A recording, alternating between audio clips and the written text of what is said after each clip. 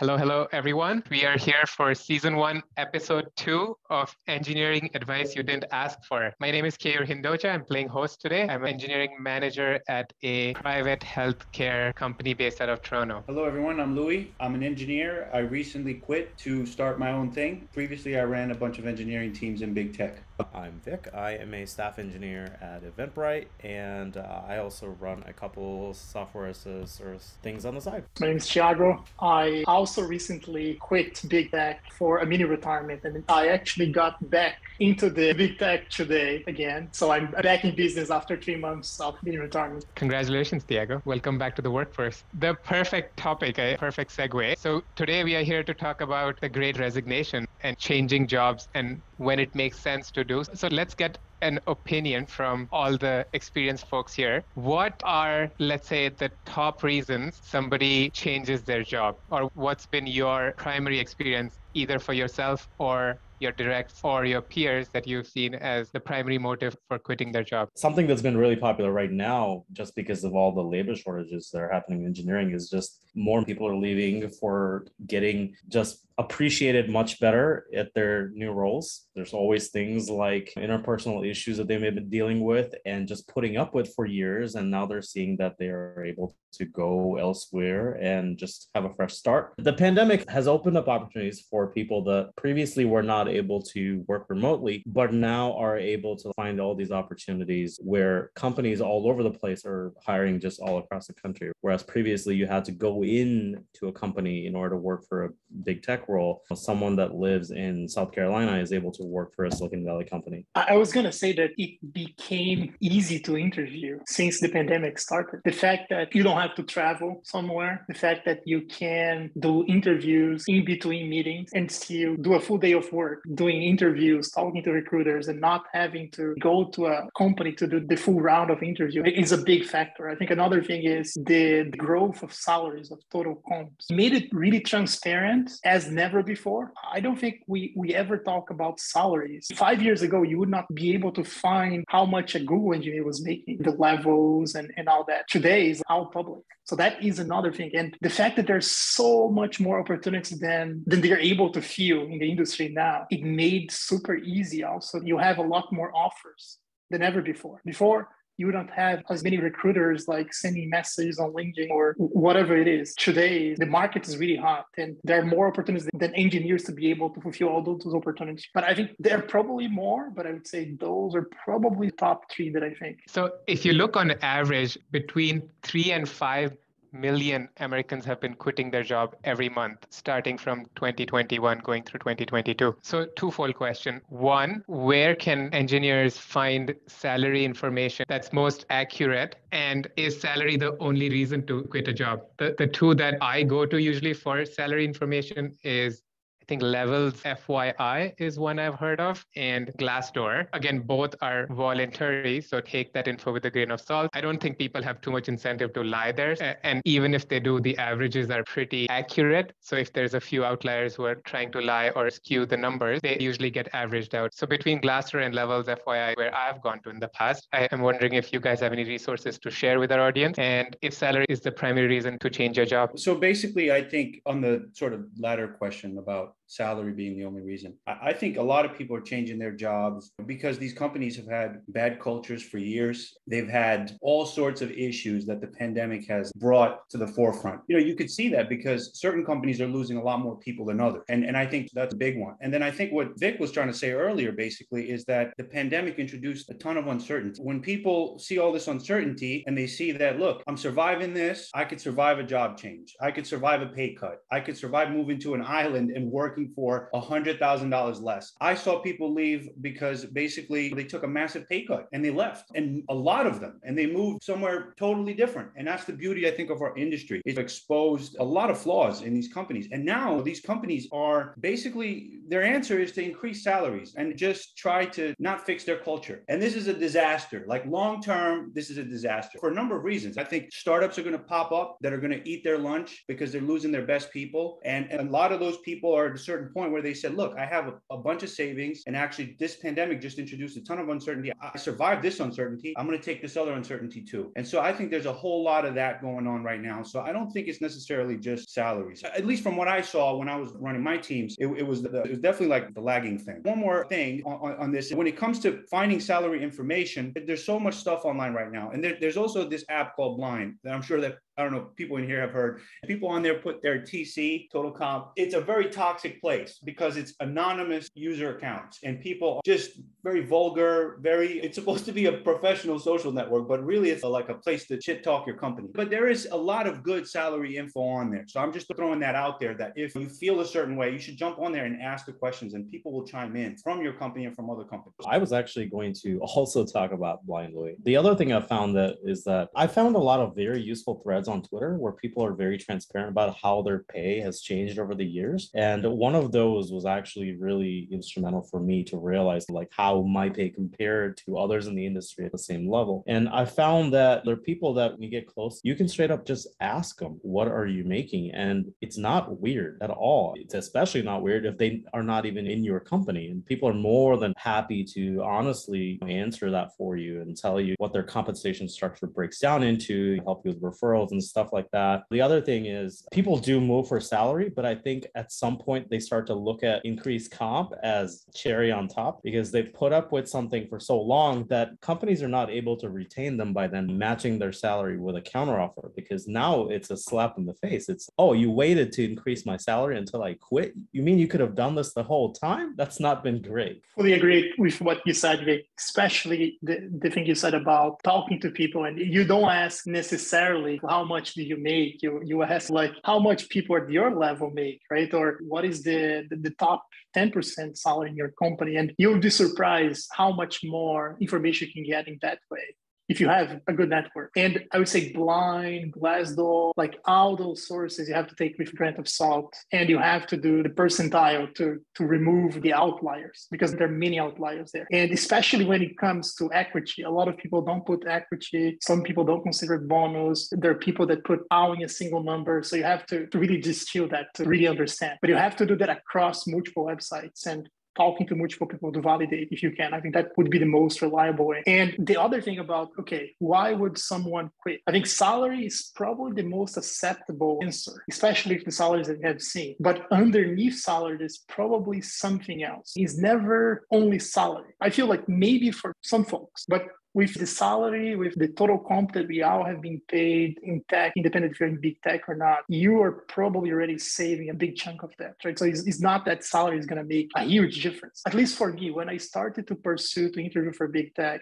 salary was the initial motivator, but then the, the challenge to crack the interview process and to prove myself and, and to go over that was probably the most interesting aspect and to see how reality was in those companies. Say something else again, because it's very similar to what you're saying. So that was me. So I recently changed jobs last May, actually, and I'd had my previous role for six years as the, senior most IC at the company. I changed jobs for a very tiny increase in base comp. And because that wasn't even the most important thing for me, I knew that I was going to this role and getting way better work life balance. I knew that this was a company that offered parents so much parental leave that I knew that was the kind of culture that they were setting. So just that indicator was great for me to look at. And I got some RSUs as well. All of the other benefits, better medical, stuff like that, which is something that people often forget when they're looking at moving to a different company, a bigger company even, is that they, they look at the pay and they say, oh, you know, the pay is the same or pays a little bit more. But things like benefits just really opens up Good point. There was a study done recently where it said your happiness is directly proportional to your salary till $75,000. After that, most of your basic needs are met, you have enough to live a comfortable lifestyle. And past 75,000, it's all fluff, right? You, your job is a luxury at that point, right? So if you're deciding to go only after base salary, that may not be your primary motive to switch to a big tech company or, or, or somebody that's paying more. So a question that, that somebody had asked, if let's say you find another job that's paying hypothetically 20,000 more, and if you go to your current employer to hand your two weeks notice, if they match that and anything else like sign on bonus or RSUs, should you stick with your current employer or should you still make the plunge? What are your thoughts? One thing is that 75K study has been totally debunked. It's BS basically. There, there's there is diminishing returns as you go up, for sure, they found. But there's been subsequent studies that that that analyze that. And 75K, man, in 2022, with inflation at 7%, you can't even buy a Honda Civic. but basically, the, the price of a Honda Civic from 1990 to like the 2000s has gone up now, and it's still going up. And so the point being that 75k is nothing, and it's okay, but it's but in our industry they're paying a whole lot more. And so I do think if people are making 75k, they should absolutely leave. Basically, like they should not stick around. But with that being said, I do have a rule of thumb. I don't think it's a good idea to leave for 10%. And I don't think it's a good idea to leave for even 15%. Hear me out. There's a couple of reasons for this. One, you've built up credibility where you are. If you happen to have a good manager, if you happen to have to be in a good team, I think those things are so much more important than a 10% raise because long term for your career. But that being said, if you get a 50% raise or 100, it's a no brainer. You have to take that, even if it's a shitty job, just to establish a new baseline. And I had this conversation with Gergely on Twitter recently. He said someone got a 100% raise. And, I was like, 100%. Uh, who's going to say no to that? So even if you're making 75K, 100% raise, believe me, they're going to quit. So my point is, I think you got to establish some baseline. And I think if you, you got to look at the stuff around you. If you happen to be in a really good team, the chances that it's going to be green are really low because that's just how our industry works. Unfortunately, most of the places are shitty. And the likelihood is high that you're going to end up in a bad spot, even in big tech. There's a lot of bad teams, there's a lot of bad managers. And if you happen to be fortunate, stick around. And then there's other options like you could transfer in the company before you, you sort of take that, that that route. And when you transfer in the company, if you have a really good reputation, that reputation will still follow you because people know you and other people in other teams and other managers. It's easy to get promoted if you have that. So I would just say you got to have a good baseline for the raise. And then one other thing on the previous question, I, I think one underrated way to find out how much people are making, there's all these postings, they have to be public postings of H1B sponsorships. And I, I know because I've filed a whole lot of those for people, and we have to publicly list people's salaries, right? And and most companies, most good fair companies, are going to pay H-1Bs exactly what they pay other people. And so when someone posts, and an H-1B in the U.S. is basically a visa type to, to get your a, a residency. And so when someone gets sponsored, I forget the exact point when you have to post it, but they have to post it. And there's tons of them around if there's enough engineers. And then you could look what is somebody making at this level? And that stuff is actually public. It's actually like in, in the government websites. You could go look there and look up your company and you could look up the levels and you could look up what they're paying for them. So that's a really powerful way to find out if you're underpaid. And, oh, and sorry. So, yeah. so so where would you get this information? There's even an API for this. I've seen this. There you go. Vic, there we go. Vic will glue you, your engineers. Just go into the API. One thing on that topic, Louis, the H1B and there is also the, the green card prevailing wages. I think they're also public the one caveat there is that's only base salary. At least when I used to do it was only base salary. You would not consider the bonus it's or the equity. At least, so you have to take that in consideration. What, what can play a big factor? It can be the the 100x or 100% on top of that. I would just say if somebody goes into that and sees that their base salary is 50% or, or 25% somebody the same level as them, they're underpaid and base salary is what matters the most. Exactly. 100%. Exactly. So anyway. No, that's great. I'm glad you brought that up. Two comments. One comment was on what Louis said. If you are in an environment, you have good work-life balance, you have a good manager, you're growing, you're learning, you're mentoring, is gonna be really hard to beat that if you move to a big tech. And I experienced that. Actually. I was on a big financial company and I was on a department that was amazing, that we had amazing culture, but you would not pay as much as the big techs. And I had this illusion in my head that moving to a big tech, I would be learning, the environment would be a hundred times better, leadership would be amazing. And I burned out. It was shitty. It was like, and even though I get paid a hundred, hundred percent plus than what I was making there, my life became a nightmare. And was it worthwhile? Maybe because I, I didn't stay there long and I was able to, to make some money in between, but if I was playing for the long term, I would be much better off if I had stayed at my previous company because I had a lot of more goodwill. You, build that over time, and the more projects, the more people you have, it, it, makes your life easier forever if you have that goodwill in the company and people trust you. Versus moving to a new company, you have to prove yourself again, you have to deliver those projects, you have to and it takes time to get at the same level again. So it's a big change. And the last question was about if you should accept a counter offer from your company, right? I would say that's a tricky one. There are people that are playing the game of, okay, I'm going to interview and I get an offer so that I get a raise. They don't really want to leave. I would say for that reason, that might be effective, but shitty way to do it. That can get you the 15, 20%. More than that is unlikely. But I would say if you do that, you're probably not going to stay long. If you got an offer and then the, the company gave you a counter offer, and the main reason for you to stay was salary, is like the company knows it's going to be a matter of a couple of months for you to want to leave again. I would never consider taking a counter offer from my current company if I got offer from another company because to get an offer already went too far away. Eight or so years ago, one of my team leads actually went out and interviewed and got a really good offer and left. And when she left, HR called me in and all that, and they just want to go over her exit interview and all that. And as I was walking out of their office, I joked about pretty soon you'll be doing my exit interview. Total 100% joke. I had yet to interview. I hadn't planned on interviewing.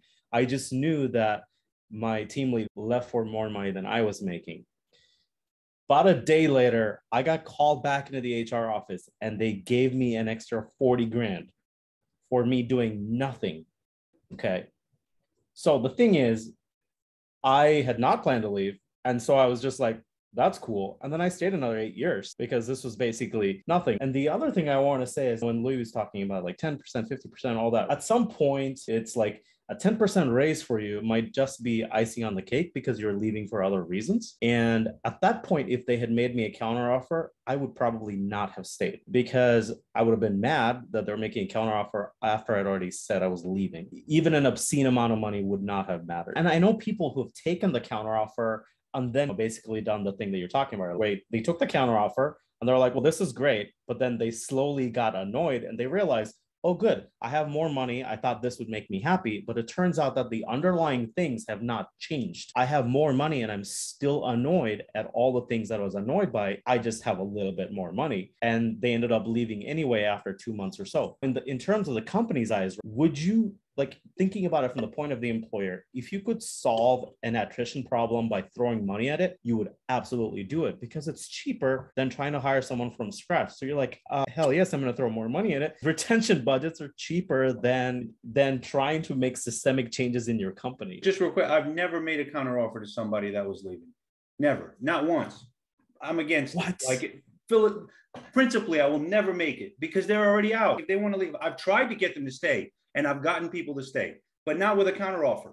But with the fact that, listen, if you stay and you do the kind of work, you're six months away from a promotion. You're six months away from earning more money than you're about to get over there. You want to go and reset the clock? Go. I'm not countering. That's my mindset. That's how I run it. And, and I'm telling you, that's a better way. So I was, I was never saying before, just to be clear, I was never saying that people should be taking counter off. They should not take a new offer for 10 or 15% if they have a good team. It's just they should stay at the old salary, go to the boss and say the market is really strong right now and just give hints. You don't even need to say that I have an offer. You just need to say that people making like 20, 30 grand more than me right now. I'm, I'm checking it out on all these sites. I looked it up on the H1B site. I look it up on the prevailing wages. It's all there. And, and I'm making so little. How do we fix this? Look at the work I'm doing. Look at what else I have on my plate that's coming up. That's going to be huge for this place.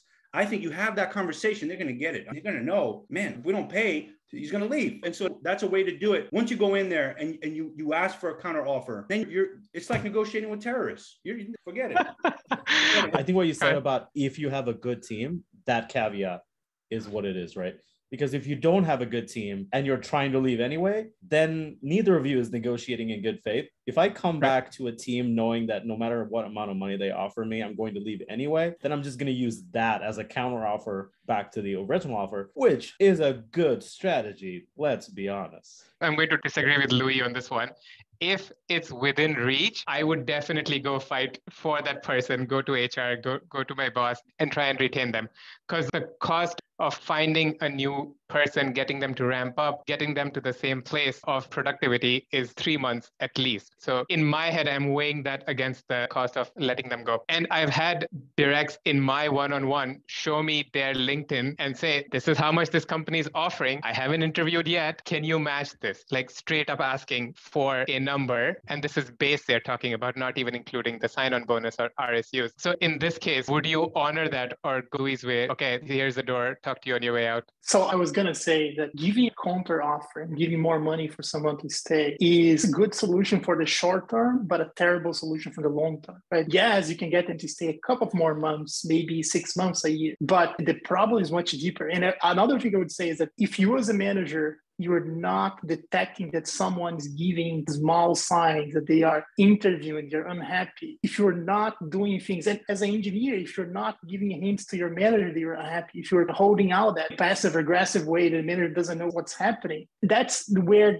things build up to get to a point where it's almost irreversible. It's almost impossible it's already too far. Something went really bad. It's okay, maybe the coach or maybe the manager is bad, or maybe there was something that was both sides of the equation were not aligned, right? Putting money there is not going to solve the deeper issue in most cases. What Vic said is okay, when you, you are ahead of time and you give hints to your managers, look at the market. I'm happy here, but I'm seeing this. What can we do? Is there any more things that I can do to help the company, to help the team? And what can we do to get me there and put a plan together? It's not can we match the salary tomorrow? That's not how it happened because the interview costs you a lot of hours. To get to that offer, you're going to have to work really hard for a couple of months. So the same to get a raise in your current job is not overnight.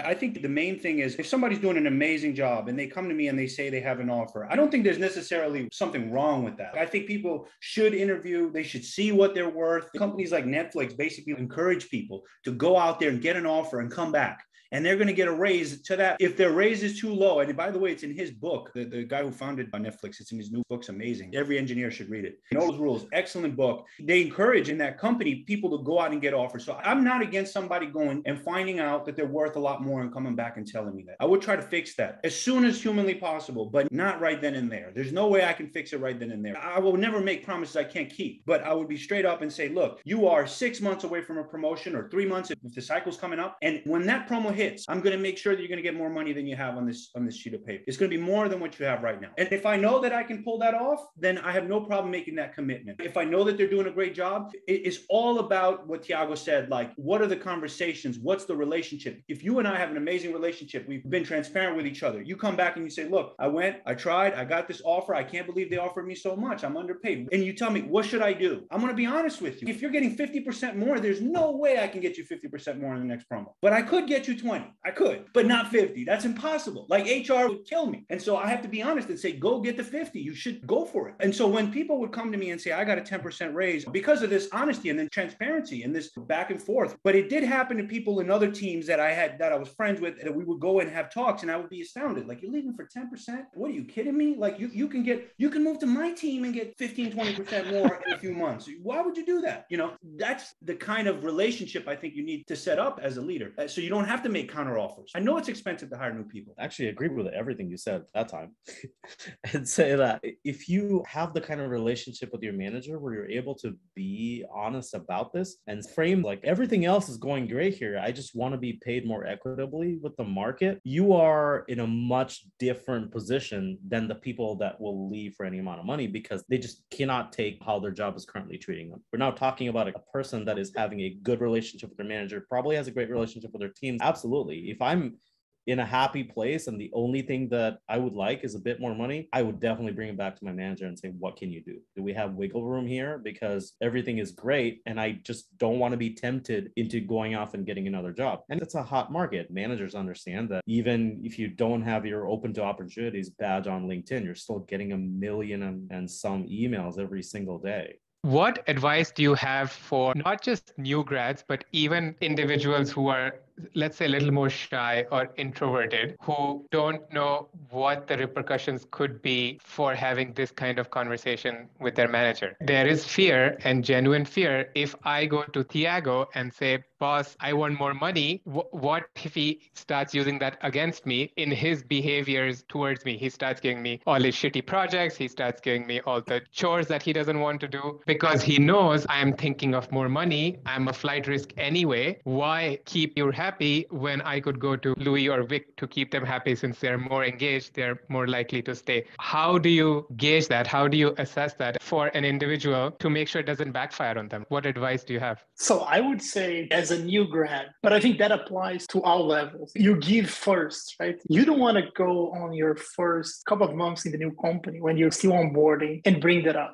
You don't want to start that conversation. You need to get to a good point in the relationship with your manager. You need to be on a little bit of position of power to get that conversation in the table. There is a lot of fear and a lot of times what I have seen are folks that are not doing great. They have been getting feedback. They know they have not been delivering as up to their level expectations and they bring that up. And it almost puts more ammunition to the manager to, oh my gosh, this person has no idea what's going on. But if I would give advice, would be build that reputation over time, ask for feedback, and maybe try to have a plan for promotion. Asking how close you are from a promotion from the next level is usually a good indicator if you can or not have that salary conversation. It's not only promotion that matters, but I think it's a good proxy for you to know, okay, is this a good moment to bring the topic up? And of course, there is also like a timeout of staying in a position that you don't like. If you're years there, your manager is always making you feel that you are not productive, and you know you're kind of productive, you know you're helping, then you, you should bring it up. But it is a really delicate conversation to have, especially if you're starting your career, starting a new company.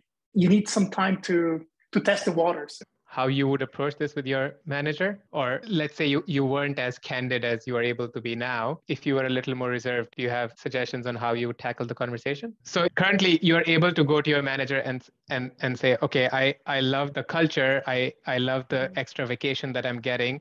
You guys are accommodating when I need time off for my kids, but I know company XYZ next door is paying 15% more. If you're not okay bringing up the money conversation without fear of repercussions, what what would you do to muster some courage or how would you ease that into a, a one-on-one? That's a tough one right? If you don't have the courage to do it how do you gain the courage to do it is basically your question. I know it's challenging but i have seen people who are genuinely petrified of bringing up such topics with their manager. You just drop a bomb like vic did. It's a difficult question for me especially to answer because i've never been shy about that and so I don't know how to put myself in a position. If you're asking me to advise someone else, I would just be like, I would advise you to ask someone else this question. So be as upfront and as candid as Vic does. It's difficult, right? Because if you don't actually have a counteroffer, you can't bluff about this if they call your bluff, that it's not going to end well for you. If you have not actually had, if you don't have a job lined up, which is why people often, even when they don't want to switch jobs, they go through the interview because they don't want to run that risk of having their bluff called and then have nowhere to go. So you do an interview, you try to find a different job. Hopefully it's more money, and then you bring it back. And on the worst case, you go take this other job that pays a little bit more. But to touch on the question a little bit, I really do think if you're really worried about, so there, there's a number of ways to build up courage. And we, Chris and I have been learning this by writing online and forcing ourselves to put out, put, forcing ourselves out there in the public. Everyone has different kinds of fears. That's the first step. So if you're a junior person and you've got a fear that you, there might be some repercussions if you go in and you're asking for more money, like Thiago said, I mean, if you're if you're just asking three months into the job, maybe the manager's going to start looking at you weird. It could happen. But I would say this I would say you could build up your courage over time. And there's a number of ways to do that. One, study the market, right? First of all, make sure that you have your stuff together and you're doing a great job. You're adding tons of value. If, if you're doing that, if you're doing that, the risk is incredibly low. But then if you still have the fear, after you know that you're doing a good job, your manager's telling you you're doing a good job. If you still have the fear to bring it up, I would say study the market. That's going to give you, even if you don't go and get an offer, that's going to give you a lot of courage because you're going to see that, okay, actually people with a year of experience now are making between 125 and 150,000 and I'm somewhere around 100. Now, you know that even if you get fired, even if your manager hates you, you have a few months. First of all, no one's going to fire you on the spot. Like I've also just I've never seen anyone pull the bluff. I've never seen a manager be like, "You're fired. You're asking for a raise." it has never ever happened. Okay. So that's out of the question. But I think if you've done your research, then you're going to have a lot of courage that even if there is some repercussion from that conversation, which is it's like really unlike if you've done a great job, it's I would say it's none, but basically just build up that courage. Go study the market, figure out what you should be paid. We have a lot of good resources. Then I think from there you could be a little bit more brave because worst case scenario, if your manager decides to slight you, you can you can you're going to go interview and you're going to figure this out. And in fact, if they slight you, that's going to give you even more motivation to go and get another job and go and get land something. Sort of along the same lines, I saw a, thread from Thiago recently which said, push yourself to change jobs every three years or so during the first 10 to 12 years of a career. And recently, my mentor gave me this advice to interview at least two times every year, whether or not you intend to take the job, both to find what you're worth in the market and to find out any glaring holes that you have in your skill set that you now need to ramp up on. So I just wanted to get everyone's thoughts on how often should you change jobs? And while you're thinking of that, is it easier to go vertically up in the same organization? Organization, or is it sometimes required almost to go to another organization, get some experience, and come back a level higher? I've seen that happen at, at multiple organizations, and I always frowned upon it in, in the sense that if you aren't valued for your skill set and you need external validation for someone to to acknowledge that and then you come back at a different level i actually saw a meme or a joke about this a, day or so ago about this cartoon. It's this comic strip where basically this person is talking about leaving the organization and coming back as a boomerang employee or whatever. And the reason they're stating is that because new applicants are getting paid more money than them, and their manager tells them, well, that's because recruitment has a higher budget than retention. That's totally true in a lot of places. You're going to find that if you want to get promoted into a role, let's say that one of the biggest things that mistakes that you can make is getting uh, under when you hire because now you have to go through this whole promo process and your manager has to put together a promo package and all sorts of stuff for you to get into a, the role that you actually need to be in. And you're going to find that it's easier to get that role elsewhere and then come back as that role later on. If, if you find that you really like your company, but you're underpaid or you're under level. And, and some organizations don't like that. Like Microsoft, for example, you cannot come back at a different level than the one you're currently at for a whole year, specifically to prevent this. What you asked another question and I've forgotten what that so, was. Sorry, yeah. How often should you change jobs? I don't have an opinion on how often, so I'll defer to someone else for that part. But I will say that it's good to keep your muscles warm, right? So that the day that you need to change jobs, you're not suddenly going out there studying LeetCode or learning what it is to be a human in an interview and failing your behavioral test because you've just not practiced star format or whatever. So it's definitely useful to just do interviews every now and then, even if you have no intention. This week, for example, I got contacted by someone and I told them right away, I am not looking for anything. And he said, we can just chat. And I know he's going to still try to recruit me. And but he's local. So I was like, I'll come get a coffee with you but I want to state once again for the record that I am not looking, but I am interested in knowing how you do this thing that we do at our company. Two professionals talking to each other, two humans talking to each other. I could use to make another friend. I could use to just talk to another engineer about how they're doing stuff. That's how they uh, get you, Vic. That cup of coffee. I'm not changing jobs. So the thing about changing jobs, right? And you don't necessarily need to change companies to change jobs. That's one really subtle thing that I wrote on that thread is I see that there are maybe four dimensions, there may be more, but there are like big four dimensions in any job, in any company. The four dimensions are okay, the product that you're working, the, that means also the business domain, the kind of platform or the tech stack, it also the process, what kind of process are you using, and the people you're working with. So business and the product is one of the, the four dimensions. And you can change a job and stay in the same company. And that's why I say every three years, every two, three years, it's healthy to change one of those pillars because it will push you to develop areas that if you stay too long in the same job, in the same company, with exactly the same constraints, you're going to be too comfortable. And then it's going to be really hard to do interviews every year, like once or twice a year. So it's almost to challenge yourself in so many ways. And especially, I would say, if it is the first 10 years of your career, doing that is healthy to build up your confidence. Because if you're able to do that enough times, you're able to get to new places and build up, learn new technologies, learn new domains, and still able to succeed then, then you're going to have that courage that you need to talk to your manager because you're not going to have the fear to changing jobs. So I think that